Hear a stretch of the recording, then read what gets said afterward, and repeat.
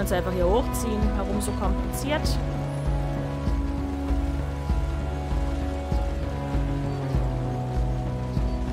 Das liegt bestimmt daran, dass man jetzt nach links läuft. Das irritiert dein Gehirn. Es ist echt komisch, nach links zu laufen. Das kennt man gar nicht von Spielen.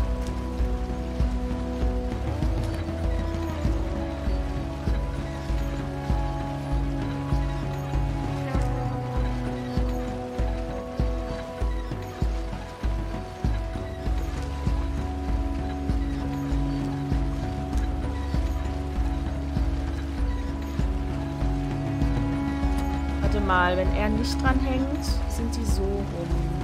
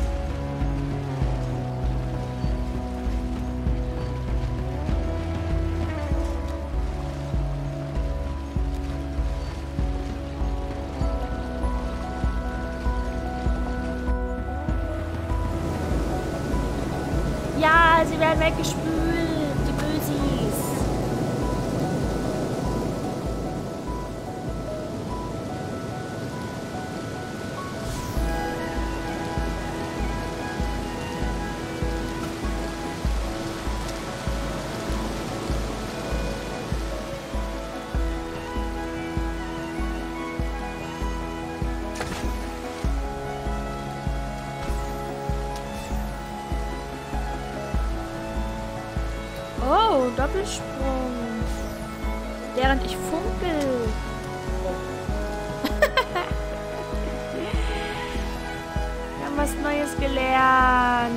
Kurz vor Schluss. Juhu.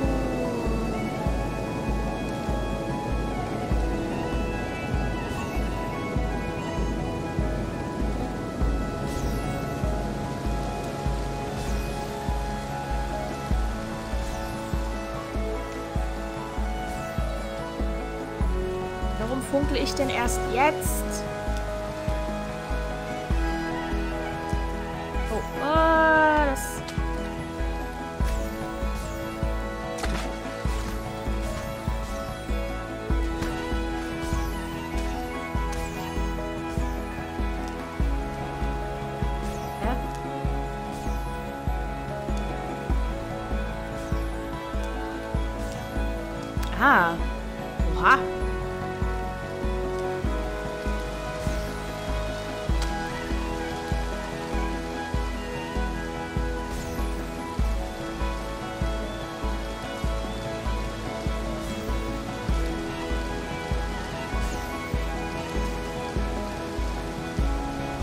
An leuchtenden Funkenspuren schwingen.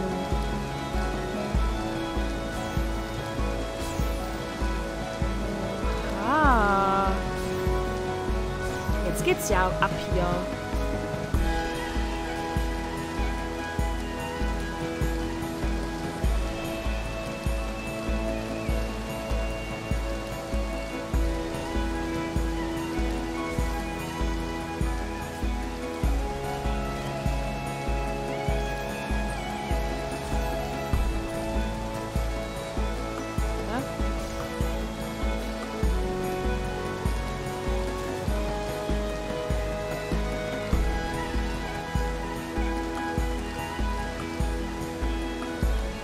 Das hätte so vieles einfacher gemacht. Ja, das Spiel jetzt so. Haha.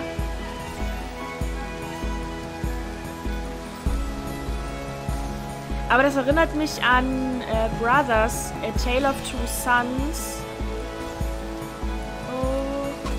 Da war das nämlich auch so, dass ich ganz am Ende plötzlich was anderes konnte. Und das Spiel mir das aber nicht wirklich gesagt hat.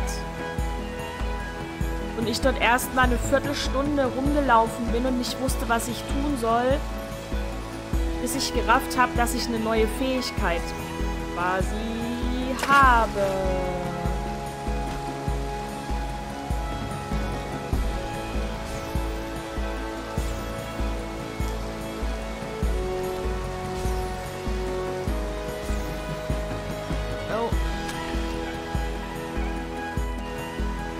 Oh, nicht wieder hier ganz vorne. Ich finde das ein bisschen kompliziert hier.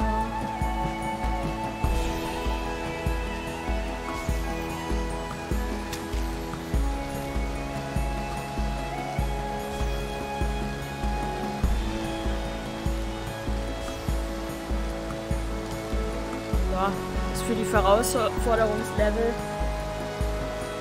Herausforderungslevel kann sein, dass man das vielleicht sogar, wenn es jetzt nochmal Herausforderungslevels freischaltet, dass man das dann nutzen muss.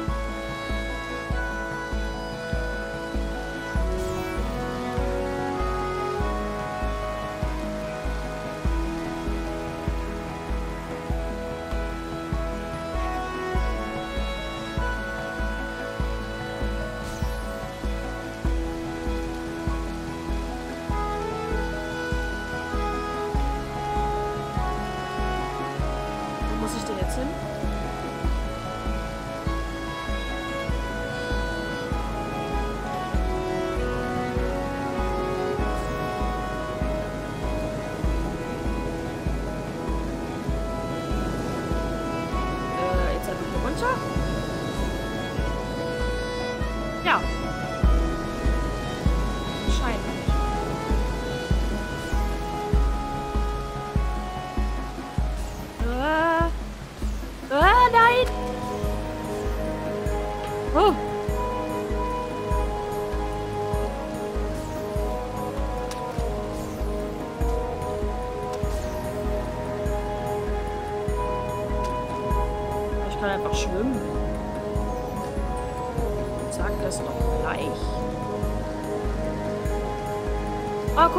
Jetzt überall nochmal vorbei, wo wir waren?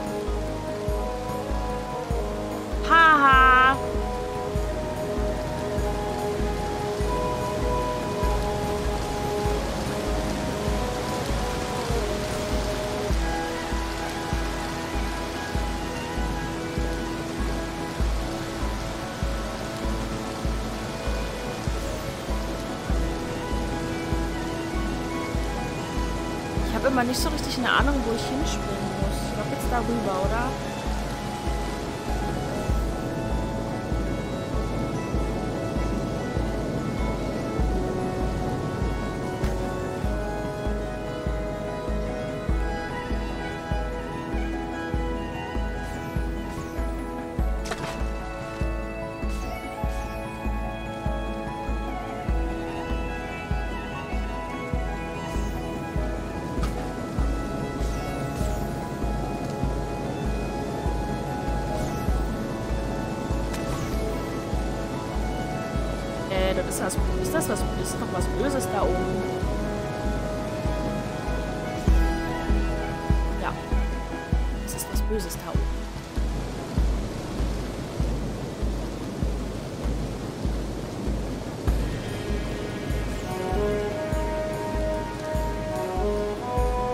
Achso, wir können einfach hier unten lang.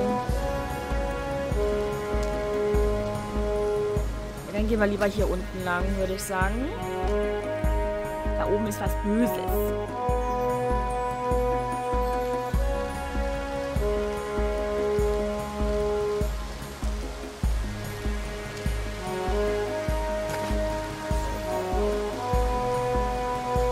Ja, der Schwan attackiert den Bösen.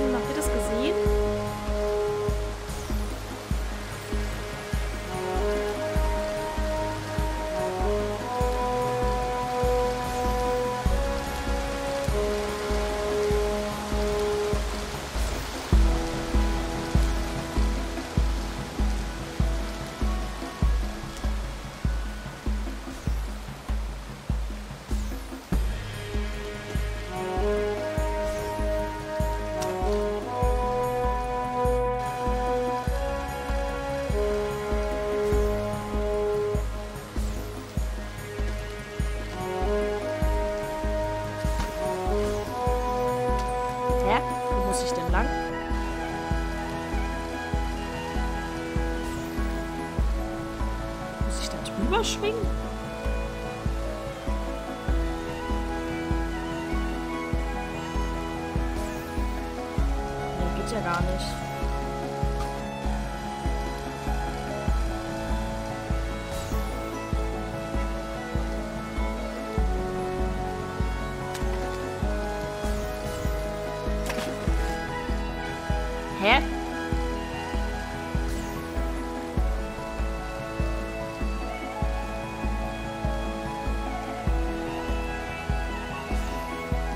Geht's ja auch nicht hoch.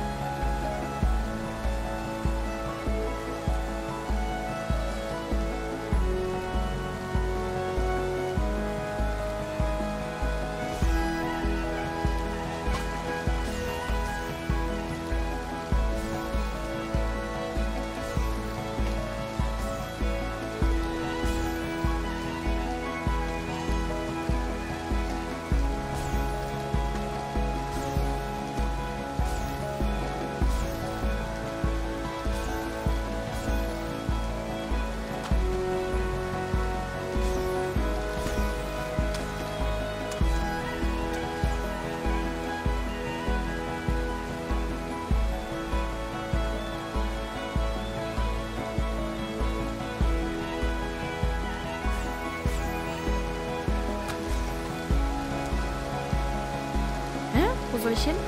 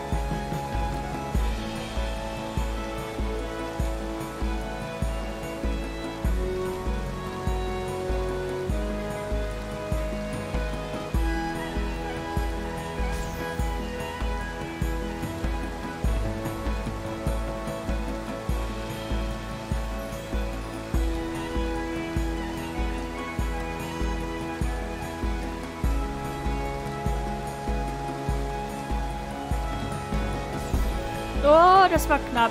Ich glaube, so müssen wir es aber irgendwie rüber schaffen, oder?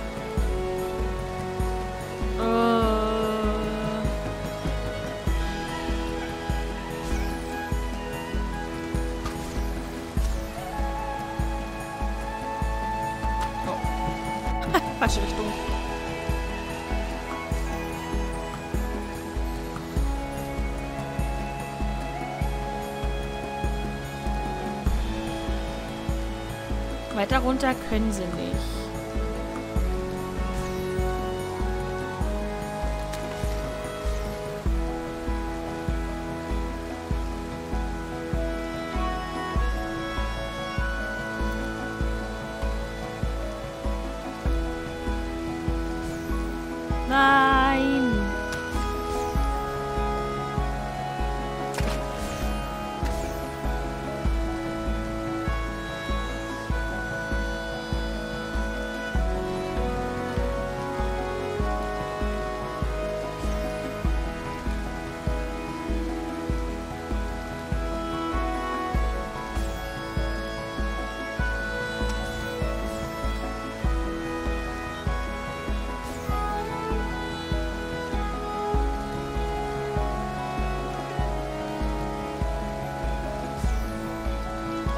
Gibt's doch nie.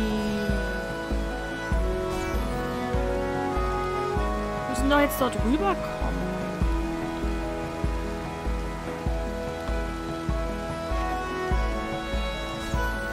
Ah! Oh Gott, oh Gott, oh Gott. Wir haben es geschafft,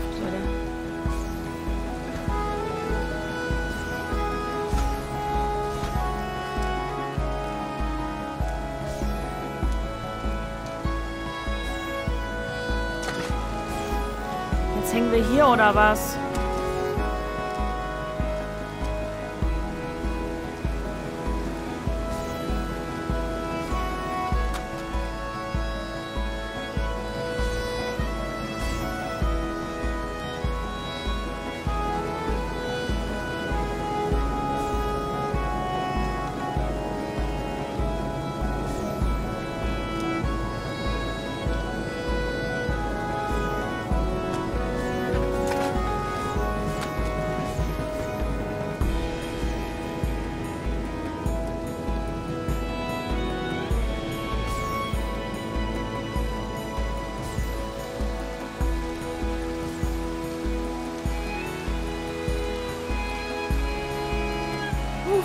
Weit ist es denn noch? Sind wir bald da?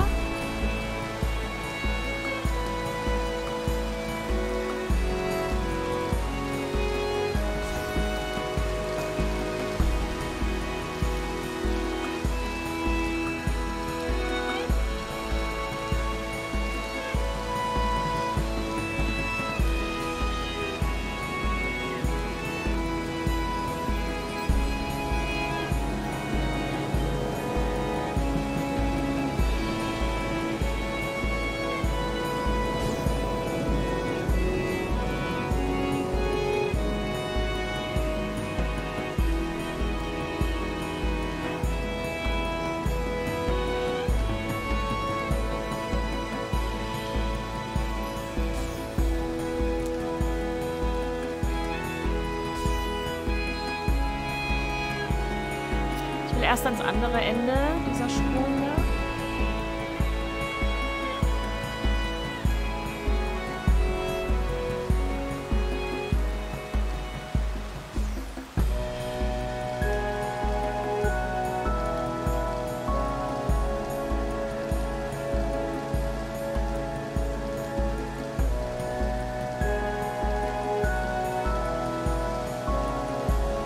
sind aus dem Wasser rausgekommen.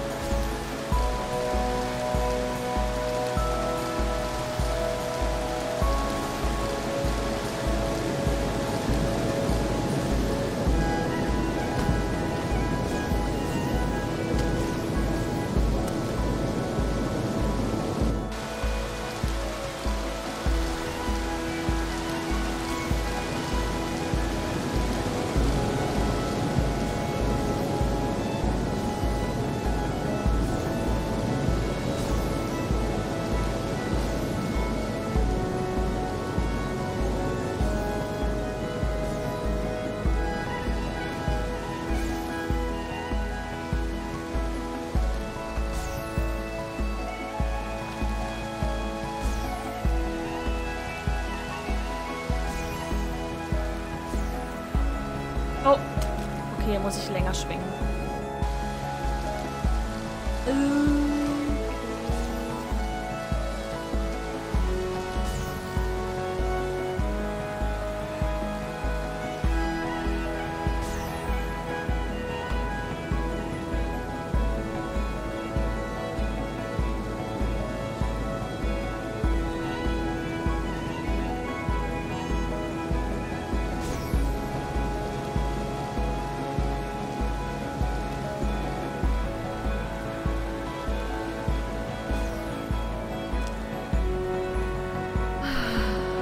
Habe gar keine Zeit, auf den Hintergrund zu achten. Das ist ein bisschen schade.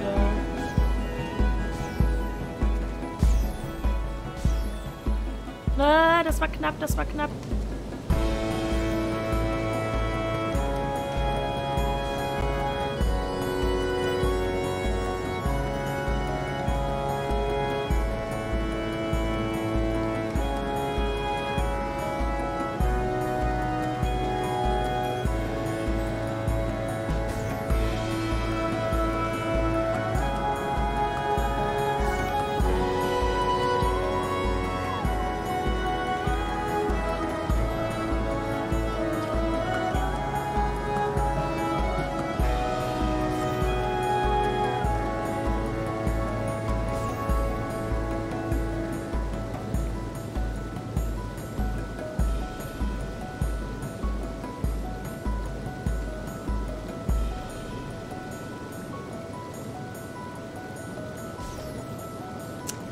Warum geht das denn jetzt nicht mehr?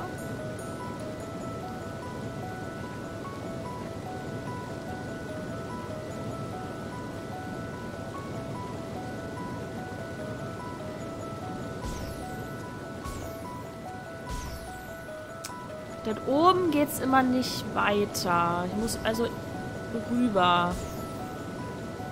Vorher.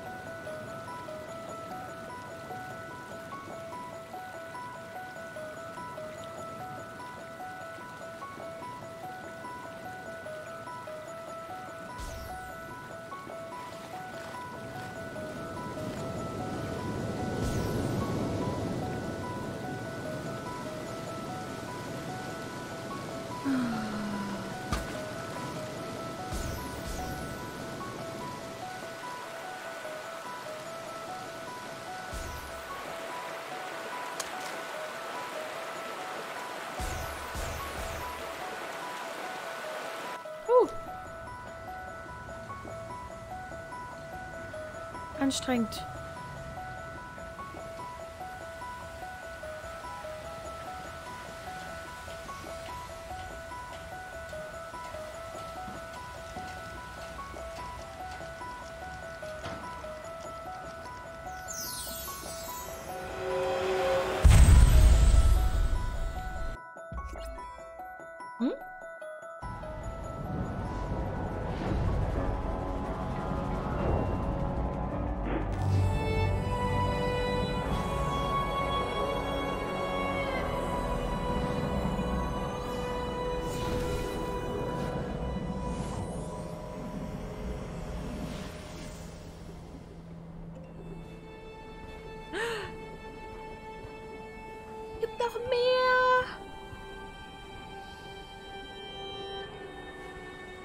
Lass uns verbünden zu einem großen Wollknäuel und dann besiegen wir sie.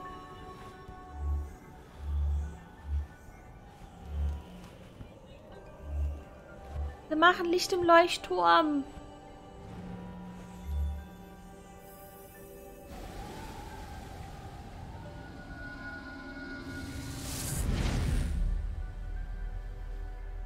Oh, schönes Wetter.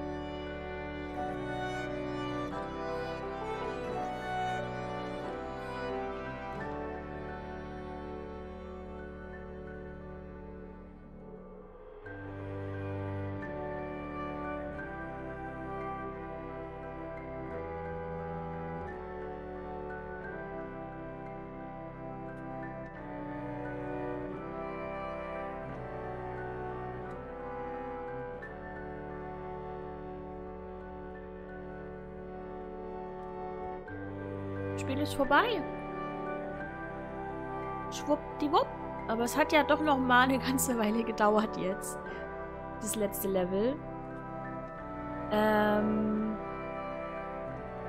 Hab die Story nicht verstanden. Botschaft finde ich schön. Design super. Außer die triste Farbgebung am Anfang. Musik am allerbesten. Musik richtig gut.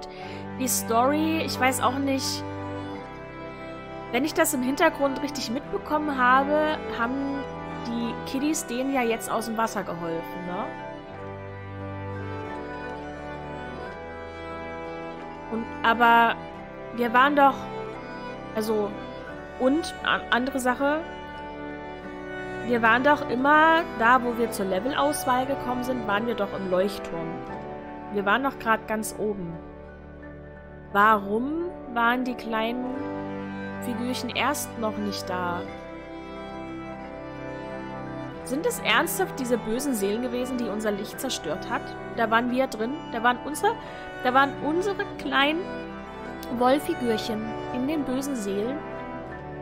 Und plötzlich war unser Licht stark genug, um den Leuchtturm zu erhellen. Wir hatten direkt schönes Wetter. Ähm die Grafik im Spiel war wirklich sehr schön. Hat mir gut gefallen, das Spiel zum Ansehen. Aber ich glaube, für mich wäre das nichts wie zu knifflig teilweise.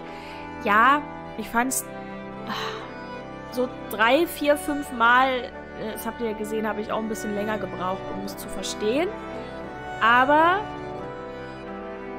im Notfall gibt es ja immer so ein paar Tipps vom Spiel. Die durchzulesen und zu verstehen ist aber auch teilweise ein bisschen schwierig. ähm, aber das Spiel hilft einem tatsächlich. Ich hätte es schöner gefunden, wenn es nicht nur schriftlich passiert wäre, sondern mit Hilfe von irgendwie halbtransparenten Figürchen, wo man sieht, wo muss der Faden lang und wo müssen die stehen und wie geht's weiter, aber es hat funktioniert. Wir sind überall weitergekommen. Teilweise auch dank Chat. Chat hat manchmal auch ähm, geholfen. Ähm, ja, ich finde aber auch die Musik und die Grafik total schön. Die Story war jetzt nicht so tiefgründig, würde ich sagen. Also, ja. Aber klar, irgendeine Story müssen sie halt drumrum basteln, weil warum soll ich sonst als Wollknäuel von A nach B laufen? Aber die Story hat mich jetzt nicht so catcht. Also, ja, war schön. Ich habe halt teilweise jetzt gegen Ende, ich konnte dem Hintergrund gar nicht richtig folgen, weil ich nur damit beschäftigt war zu gucken, wie komme ich jetzt zu dem nächsten Funkenschweif und wie komme ich einfach weiter. Und jetzt am Ende, das ist so ein bisschen untergegangen für mich als Spieler, muss ich sagen. Ich weiß nur, dass ja an dem Haus wo die Kiddies am Baum saßen, sind ja die, die Typis aus dem Wasser raus. Aber mehr, also ich habe es auch nicht so richtig mitbekommen, was da passiert ist, muss ich, muss ich echt sagen. Ich war so gedanklich bei den Wollknäueln, ich habe das nicht gerafft, was im Hintergrund abgegangen ist.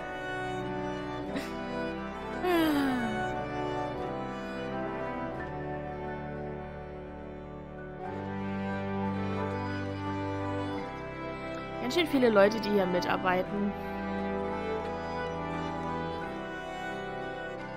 Allein bei so einem Spiel.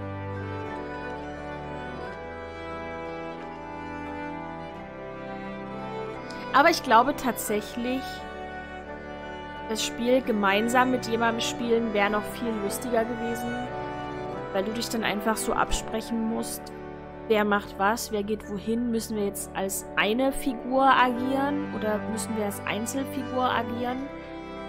Ähm, ich habe halt jetzt beide steuern müssen ist es vielleicht auch nochmal was anderes.